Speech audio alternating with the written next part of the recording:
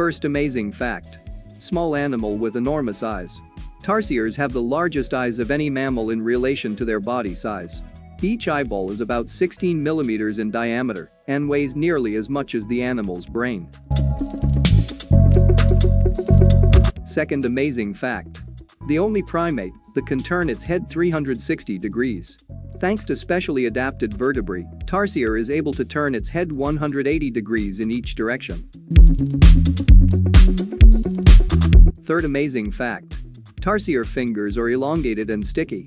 Tarsiers have long, thin fingers, with the longest third finger about the same length as the upper arm. Their fingers are tipped with sticky pads that help them grip and cling to surfaces. The second and third fingers bear long, curved claws which are used for grooming. Fourth amazing fact. Tarsier has large ears that are almost constantly in motion. Human ears can hear up to 20 kHz. The Philippine tarsier can hear up to 91 kHz, and it cries out at the 70 kHz range. Those numbers put the tarsier's hearing abilities in the same range as bats and far beyond those of any other primate ever known. Fifth amazing fact. Tarsier has suicidal tendencies.